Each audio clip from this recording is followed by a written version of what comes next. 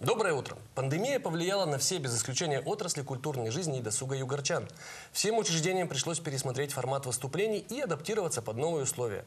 Как это удалось коллективу культурно-досугового центра «Октябрь», расскажут режиссер массовых представлений Ольга Федоренко и культорганизатор Раиска Гарманов. Доброе, Доброе утро. утро, Доброе утро.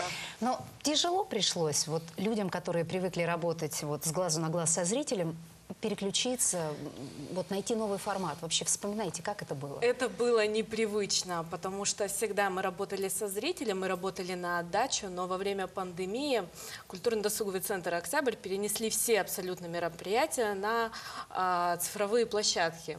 А, у нас начались онлайн-мероприятия, и нам начали... э, нам абсолютно заново пришлось перестраиваться под всю систему.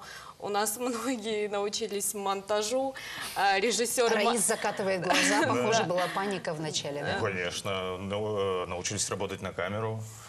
Все очень Не, хорошо. ну любой опыт полезен, любой новый А, опыт. что- конечно. Э, Но мы перевели, получается, игровые программы, если учитывать детский сектор, перевели игровые программы в онлайн-режим, в развлекательные программы. Так, например, э, у нас э, в гостях у Карлсона цикл передач э, изначально был игровой программой на площадке культурно-досугового центра «Октябрь».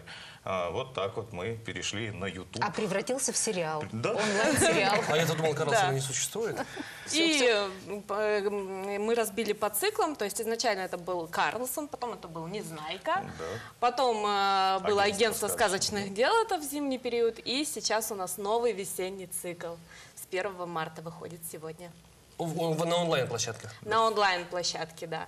А, уже стало привычно, э, спустя год, привычно стало работать в онлайн тоже формате. Поэтому а, сейчас мы э, будем, наверное, совмещать и массовые мероприятия, мероприятия вживую со зрителем, а также онлайн-площадки. Давайте о новом проекте чуть позже, а пока о том, вот с чего все начиналось, как эти ролики вообще произво- производятся, делаются, кто к этому подключается. А, ну, сначала разрабатываются темы, а, потом мы э, пишем сценарии, подбираем реквизит, э, делаем декорации, ну, музыкальную э, составляющую подбираем, и потом только мы идем на съемки. А это вообще сложнее, чем просто выступление обычное в обычную пору? Или, или Это просто с непривычки. Это, наверное, сложнее а, для нас. Сложнее для нас, потому что мы привыкли работать а, на отдачу зрителя, на отдачу детей, на энергетику.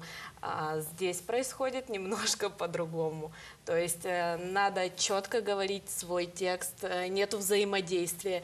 И есть взаимодействие с камерой, но уже и это стало привычным Вы форматом. уже почти наши коллеги. Раис, э, Раис, как тематику отбираете вот для этих? Вы сказали, А, что собираемся, да. разбираем темы. А как? Тематику мы выбираем исходя из персонажей отечественных сказок, мультфильмов, рассказов. Исключительно отечественные, да? исключительно отечественные. А Как-то ориентируетесь на отклик зрителя, на интересы, Ну, потребности? а, мы э, любим, так сказать, возрождать интерес к персонажам советских мультфильмов, например, Карлсон, Незнайка. Вот. И фольклор, конечно же, Бабьяга там, ну, и так далее. Да. Старая добрая классика. Да. Да. Скажите, вот осенью вы создали рубрику про лет, про, про детей называется рубрика, да? Приглашаете в гости школьников.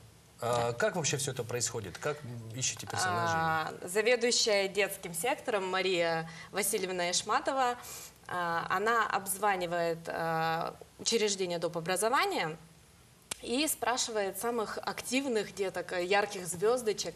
Руководители, конечно, говорят, кто у них э, самая звезда. И э, Мария Васильевна приглашает их к нам на съемку. Э, Детки у нас не отказываются. Это очень здорово, потому что все э, дети, они невероятно интересные, они вносят какой-то новый в нашу жизнь. И талантливы от да, природы. И интерес э, в наши ролики. Ребята, а теперь давайте о новом проекте. В гостях у Бабы Яги. Что это? Какой формат? Э, Ну, кроме того, что это все-таки онлайн-формат, какой жанр, что, о чем? Бабушка Яга закончила работу в агентстве сказочных Да. дел. И приходит домой. Возвращается домой, где ее ждут два ее любимых кота. Кот и кошка. Кот э, Мурзик и кошка Маруся. Мурка. Мурка, Мурка. Да. В принципе, там э, и вот это все завязывается, наступает весна, э, истории бабушки Яги, к ней приходят гости. К тому же у нас э, каждый месяц есть своя рубрика, э, помимо про детей, есть топ-5, где мы рассказываем э, топ-5 э, лучших приложений, самых интересных игр, э, в- когда было агентство сказочных дел, это были зимние игры, сейчас это будет э, дворовые весенние. Ну, также мы рассказываем о детских писателях, э, о праздниках календарных, конечно же.